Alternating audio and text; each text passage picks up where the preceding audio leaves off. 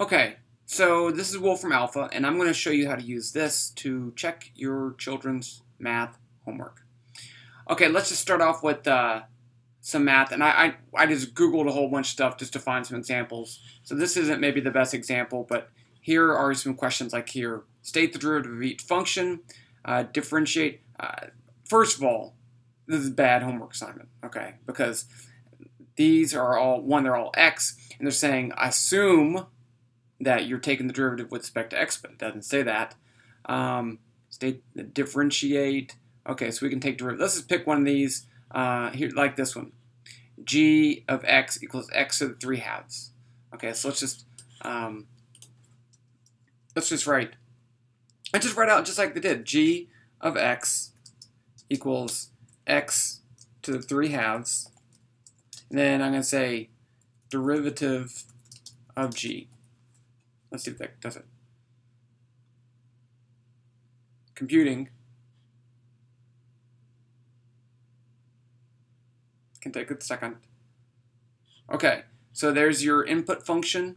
Um, domain. Here's the derivative right there. Derivative of x to the 3 halves is 3 square root of x over 2. That's it. Pretty simple, right? Um, okay, let's look at another problem. Let's see, I found one. Here's Here's some other stuff. This one actually has the uh, the answers with it. Let's see. Which one do I want?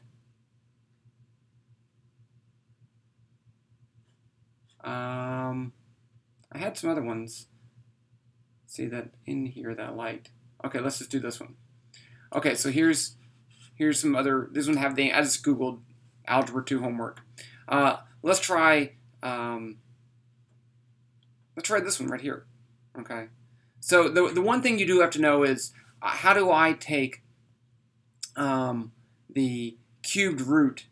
Uh, it's hard to write that mathematically. So I'm going to write that as to the one-third power. So this is 125 x to the ninth to the one-third power.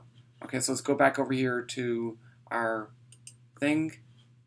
And I'm just going to write 125 x to the was it x to the third? Gosh, I can't remember.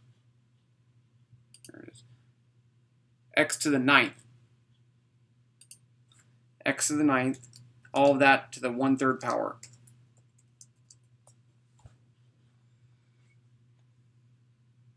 So there's the result. Let's see, is that the same as what they had? They had 5x to the third. Well, I guess you could say that is the same. I'm surprised it didn't simplify it. Oh, there it is. Okay, alternative forms, assuming x is positive. Okay, that's good. Okay, what about what about uh, this one right here? Uh, cube has a volume of s v equals s cubed, where s is the length of the side. Find the side if the cube has a volume of 8,000 cubic centimeters. There's a word problem, but if you can write this down as an equation or two equations, you'll be okay. So let's let's go up here. So I'm going to say v equals s. Let's go v equals s cubed, comma uh, v equals 8,000. That's it. Those that's what we were given. I didn't say solve for s, but Wolfram Alpha is going to say, hey, you know, I could solve for s if you want to. And so if we scroll down here, s equals 20, and that's what they had. Okay. Uh, let's see if there's another. Here's another word problem uh, T equals 8 root T. What's the temperature? Uh, when is what's the temperature?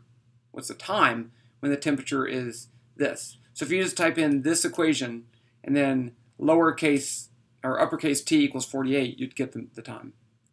Um, okay, so you know you can enter in a lot of the simpler things just just like that. Just enter it straight into Wolfram Alpha, and it will give you an answer. I'm not saying this is how you should do your homework. I'm saying this is how you would check your homework. Okay, but it's a great tool, and I think that you can really um, use it in lots of different cool ways. So that's Wolfram Alpha.